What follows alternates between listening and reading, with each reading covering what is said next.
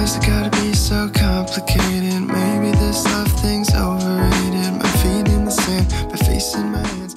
Hello everyone, welcome back to a new video. Today I will be planning and setting my bullet journal up for February and then also showing you all of my completed spreads from January. If you guys want to check out my January plan with me, the link will always be in the description box. So yeah, let's get going. I'm going to start off with a quick little flip through and here we go. Here's my theme for January. I went for a very like wintry kind of a vintage ski resort type of thing. Um, I did this little art piece on my iPad on the app Procreate, and then throughout the month I used all these little stickers that I also drew on Procreate, printed them out, and then incorporated them with some washi tape, other Tombow markers, all that cute stuff.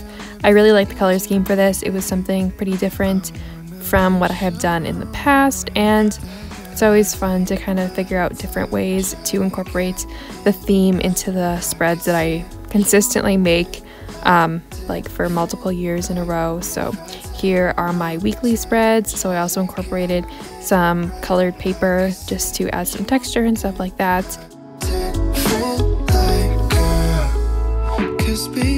I just need a minute. And one little section that I've been including on my weekly spreads has been a section for the books that I read that week, just because I have been reading books left and right. So I wanted a place to kind of track them. I have one for like the entire year, but I also wanted it so I could see how many I was reading per week. So I also had this spot at the end for books read in January, where I will eventually print out all the covers of the books that I read this month, just as a little way to track them and I think that'll be cute and fun. Um, something that I have never done before. So now moving on to February, I wanted to go all out for Valentine's Day here because I haven't done that for a while, and I thought that that would be really fun to do, and I felt like um, incorporating Valentine's Day into my spreads this month. So I went for a baking theme because I thought that went well with Valentine's Day. So I drew out this little sketch on my iPad on the app Procreate and then I printed it out and then I am using a combination of watercolor for the background and then acrylic paint for pretty much everything else. Um, I sized this paper wrong, so later on you're going to see I had to cut out like quite a bit of the cute stuff at the bottom in order to fit this in my bullet journal, but that's fine. It ended up turning out great, I think and I had a lot of fun painting this with all of the various pinks and blues. So along with this little drawing that I did on my iPad, I also drew out some stickers in a similar color scheme with light pink, reds, blues, and um, you'll see those later, but I kind of based my color scheme off of those stickers just so I kind of kept everything pretty cohesive. So the acrylic paint that I'm using here is literally from the dollar store but it gets the job done and it's not like it's anything fancy. It's just going right into my bullet journal. I typically put the original one right in there because my printer is not awesome enough to scan and stuff like that. And um, I wouldn't know what else to do with the original one. So it um, just goes right into my bullet journal.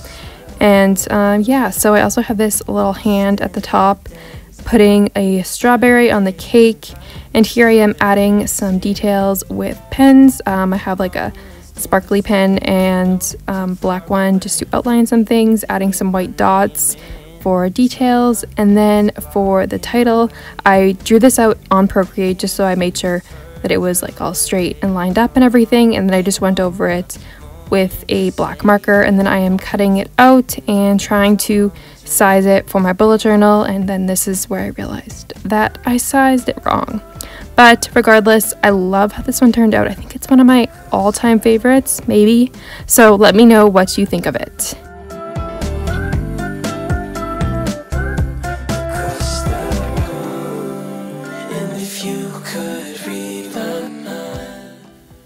And for the rest of my setup, I'm going to be using these Tombow brush markers in my color scheme, and then also my favorite Muji gel pen in black.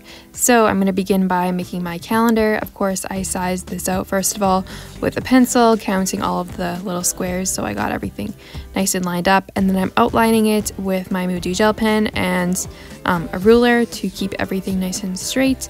On the side, I made two little boxes for expenses and events.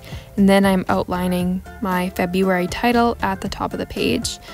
And for the bottom, I wanted to incorporate all these fun colors that I have. So I'm just kind of making this squiggly design and coloring that in and then adding in another color um, beside it.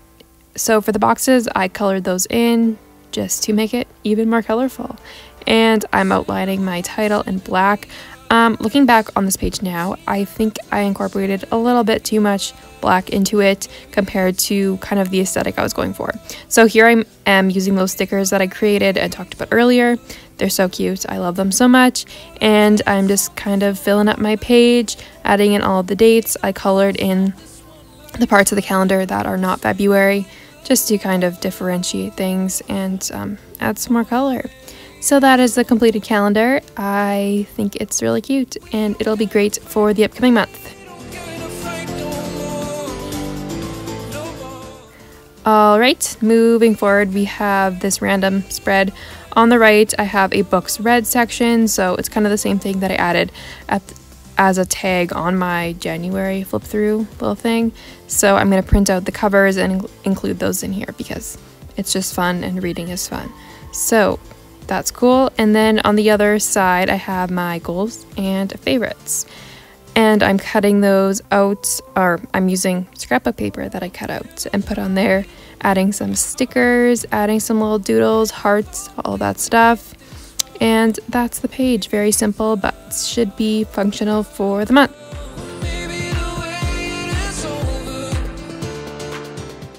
And lastly, we have my first weekly spread. I began by using the same scrapbook paper to cut out some little hearts to use throughout here. Um, this was really fun to do. And then I wrote out my February title in red, added some little doodly hearts and some stickers for all the titles for the days of the week. I did a background with light blue, and then I did um, just some cursive on top continued to fill up the page with little doodles and I also am using just like a simple red pen over here nothing fancy and I think it will be great to use throughout the month for like to-do lists and stuff just to change it up from the typical um, black pen so that'll be cool. And that is how this page turned out.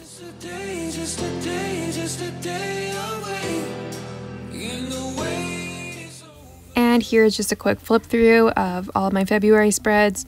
I absolutely love this theme. Um, I think this cover page is probably one of my all time favorites in all four years of bullet journaling and making cover pages. So let me know your thoughts on the theme. I would love to chat in the comments.